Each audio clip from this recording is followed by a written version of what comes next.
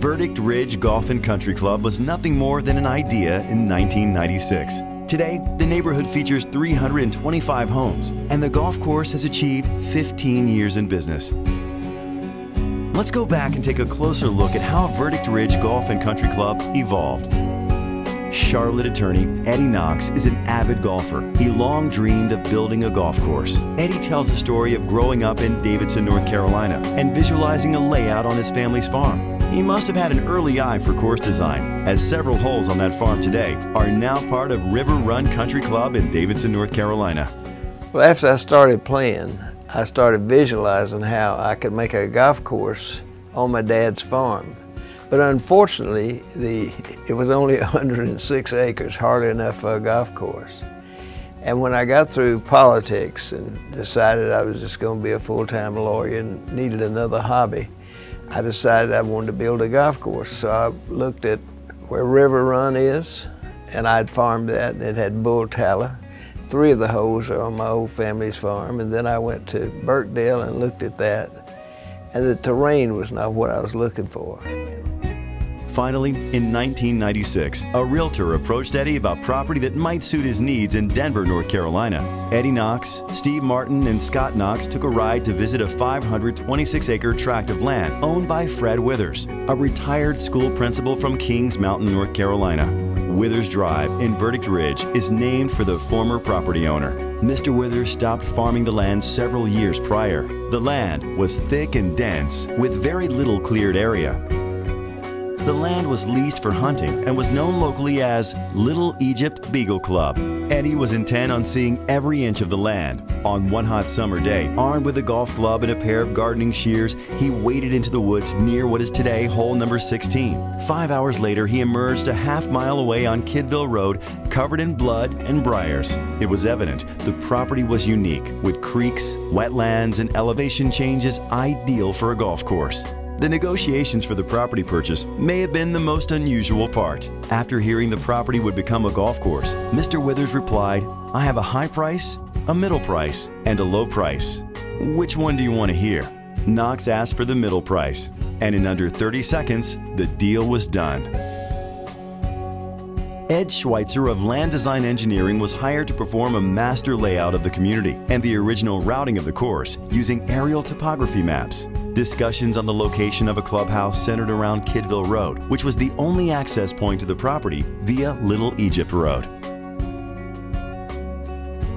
The four-laned Highway 16 was merely a concept that would take a decade to be built. Verdict Ridge Drive would not be opened until 1999 and later connected to the east side entrance until 2002.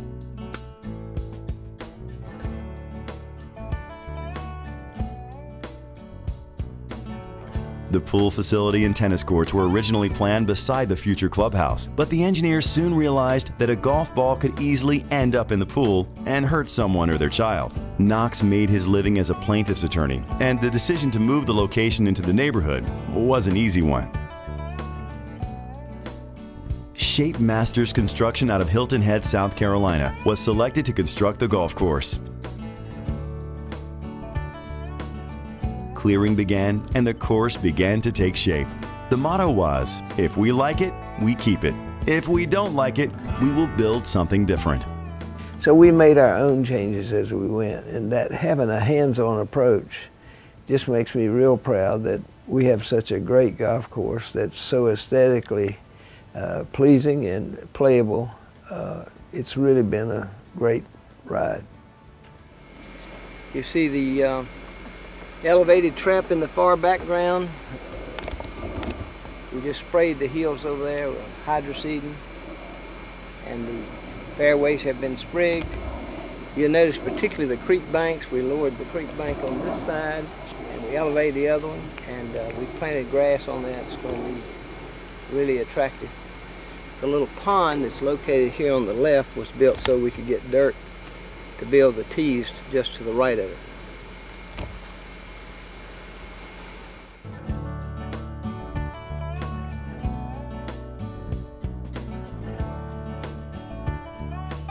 Over half a million yards of dirt were moved during the construction process. Many of the golf holes were laid out naturally through creek bottoms, while some were carved into the golf course. The layout of the course also changed throughout construction as the Shapemaster staff opened up the property and certain features revealed themselves.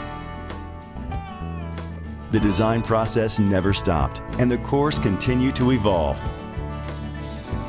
Hole number 5 was originally a par 5 with a green complex beyond the restrooms at number 6 tee box. There were a few other challenges to deal with.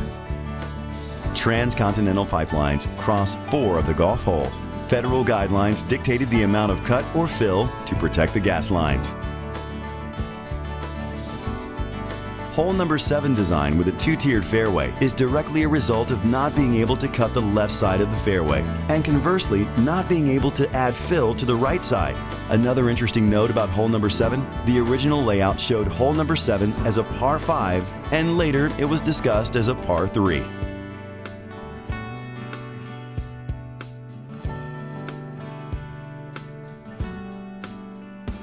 Hole 14 was not even on the original drawings and was one of the last holes built on the property, separated by two creeks and bordering the edge of the property. The design came together to form a great golf hole on land originally planned to be unused.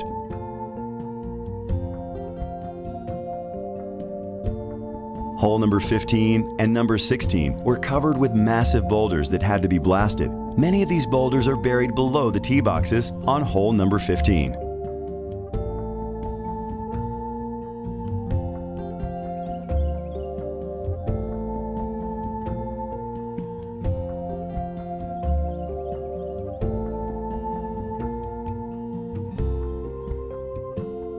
Hole number 16 was originally designed as a dogleg right par 5 that would conclude beside a massive boulder.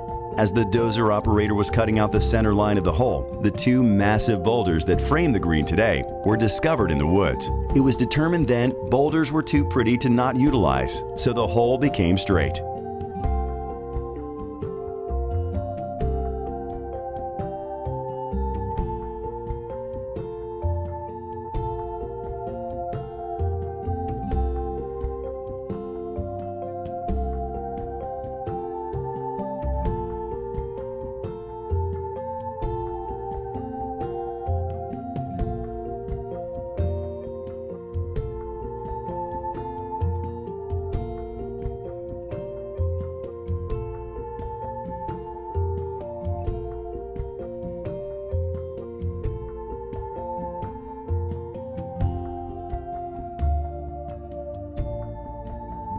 Hole number 18 design was affected by wetlands that crossed the hole in three locations, as well as Killian's Creek in front of the green.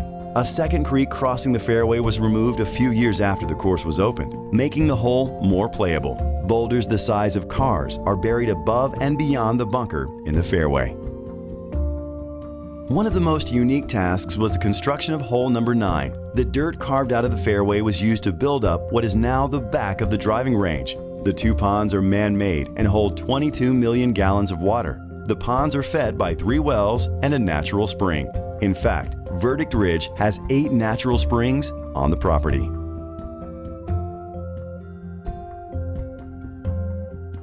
During the construction process, several other important decisions were made regarding the name of the club. The original thought was to tie the name to the history of eastern Lincoln County. The area was known for iron furnace stacks to produce iron products, grist mills that would grind grain, and the Catawba Springs Resort, which serviced congressmen and senators in the 1800s. The area springs were thought to have healing powers. Grist Mill Court is located in Verdict Ridge today.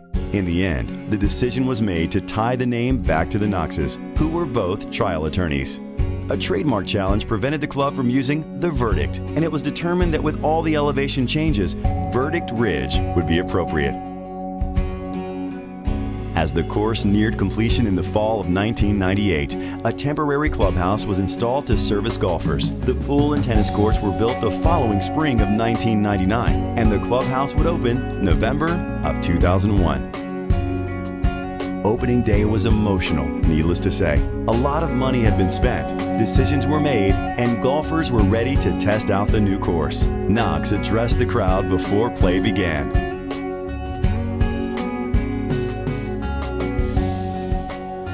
Let me first of all welcome everybody. Uh, There's not anybody here today that's not important, let me assure you, because I'm glad to see your faces.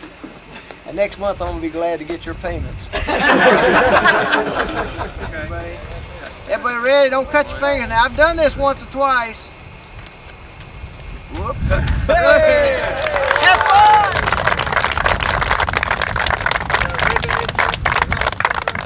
Our membership has come from a range of places, you know, from Cleveland, New York, Buffalo, you name it. They've come from everywhere.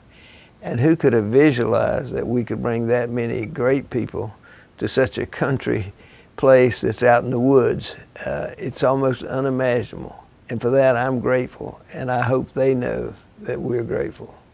Now, 15 years later, the course continues to evolve, and so does the community.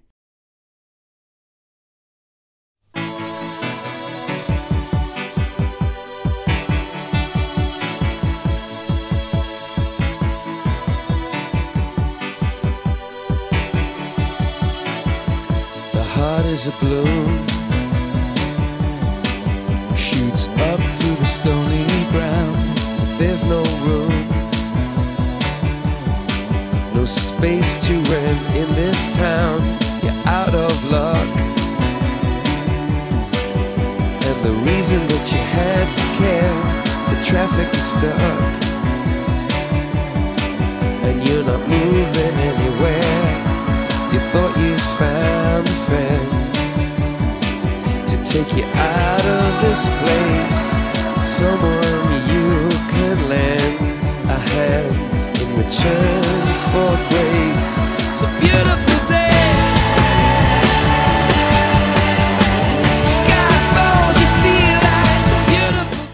Convincing my wife to help me build a golf course was probably the most difficult obstacle in building the golf course.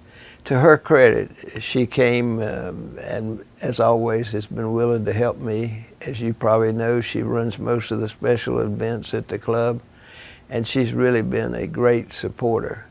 And for that, I'm grateful.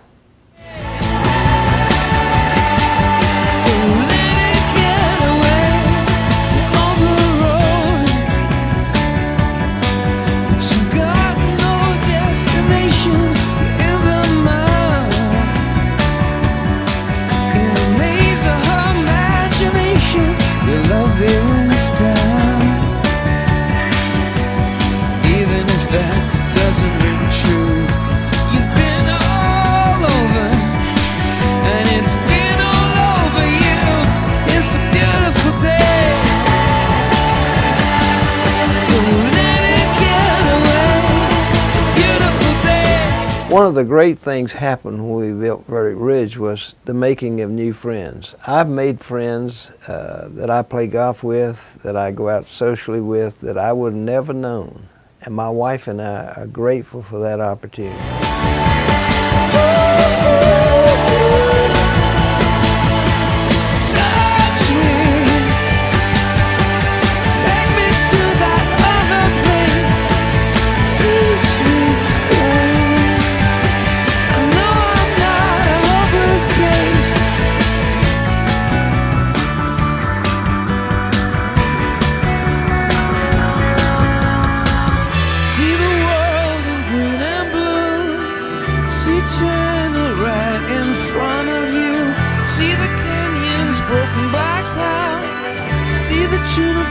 clearing the sea out.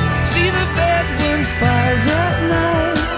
See the oil fields at first light. And see the bird with a leaf in her mouth. After the flood, all the colors came.